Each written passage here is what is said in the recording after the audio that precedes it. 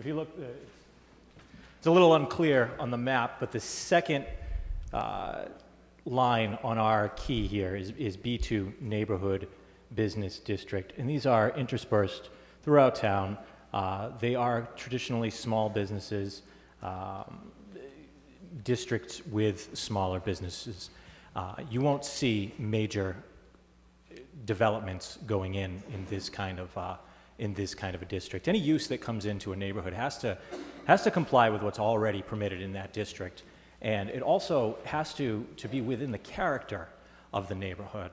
And again, the, the, the use has to fit the neighborhood, has to fit what's already allowed under zoning, and it will the, the ARB, whether it's the current crop or any future crop, will be committed to the special permit review, the environmental design review. We look at mixed use is any use that would be more than one use. It can't be solely residential. Wait And again, it wait a has to fit within the permitted use. A parking garage won't be permitted in there if a parking garage isn't permitted.